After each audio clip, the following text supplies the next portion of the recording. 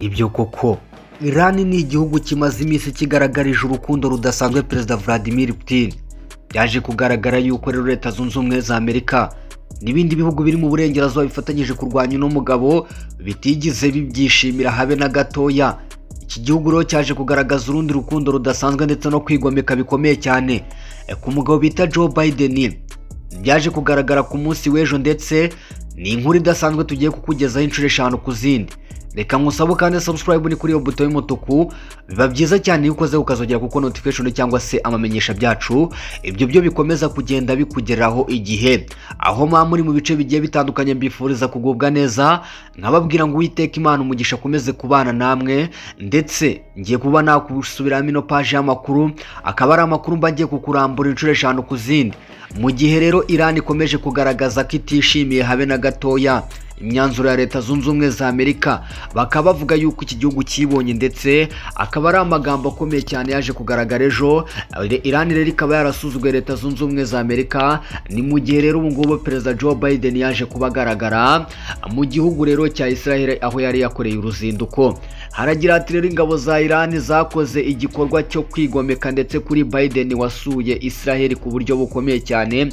Akaba ariyo nkuru tugiye gusangira ndetse akaba ariyo nkuru ngiye kugenda nkugezaho inshuro eshanu ku zindi.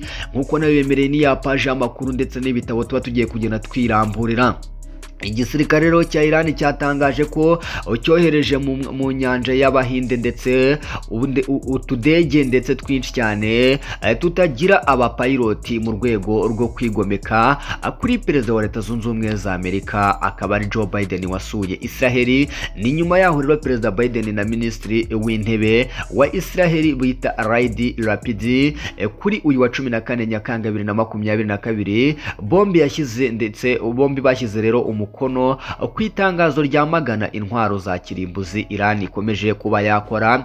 Ni nyuma kandi yaho umujyanama mukuru wa leta zunze ubumwe za amerika mu by'umutekano Jack Sullivan atangaje ko igihugu cye cyamenye rero ko Iran iri kwitegura guha ingabo z'igihugu cy'uburusiya utudege ndetse tutagira abapayiroti. Tubarirwa rero mu magana ndetse ikaba yiteguye no kuzitoza ndetse kuzikoresha ngo izanaziha rero intwaro zishoboye. Ibi rero bikaba byaraje kugenda bigaragara.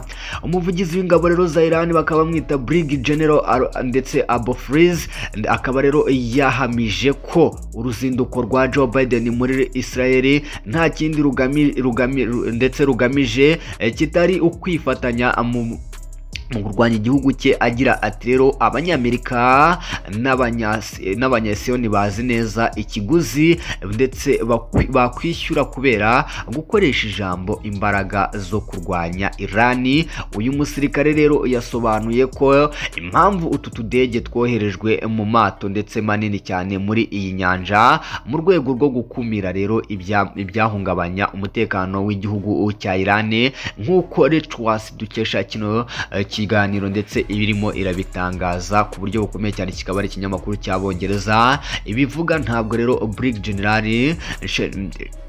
Shekarici yatangaje umubare w'amato n'utudege twoherejwe rero muri iyi nyanja. Gusa ngo icyamenyekanye ni uko bamwe ndetse bumwe bwarimo utudege tugera kuri mirongo itanu. Ndetse mu bwoko rero bw'utu tudege twoherejwe harimo utwa Pelican ndetse Arashi Home.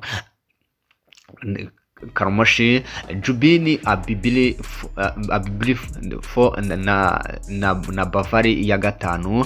Tukaba ari utudege rero tudasanzwe ndetse Iran ikaba ikomeje kugenda igaragaza impungenge za leta zunze ubumwe za Amerika ndetse n'ibyo bakomeje kugenda baganira n'igihugu cya Israel bigaragara yuko kuva Iran yagaragaza uruhare rudasanzwe uruhare rwo kuba yafatanya n'umugabo bita Vladimir Putin ndetse iki gihugu kikaba kimaze iminsi itari mikeya cyane kigaragarije uburusiya urukundo rudasanzwe rwo kuba cyaremeye kubaha rero intwaro zo kwifashisha mu rugamba. Rukaba ari urugamba rero uburusiya bukomeje kugenda bugaragaza yuko burimo buragenda butsinda igihugu cya Ukraine ku buryo budasanzwe. Ese ukeka ko imbaraga za Vladimir Putin nizifatanya n'iza Iran ndetse n'iza Proyongi leta zunze ubumwe za Amerika izabasha kwikura imbere y'aba bagabo. Iki ni ikibazo gikomeje kwibaza ku isi hose ndetse benshi bakavuga yuko iyi ntambara yo mu gihugu cy'Uburusiya ishobora kuvamo intambara ya gatatu y'isi kandi koko niko birimo biragenda bigaragarira isi yose. Igihugu cy'Uburusiya kikaba gikomeje kugenda kigaragaza imbaraga imbaraga zikomeye cyane.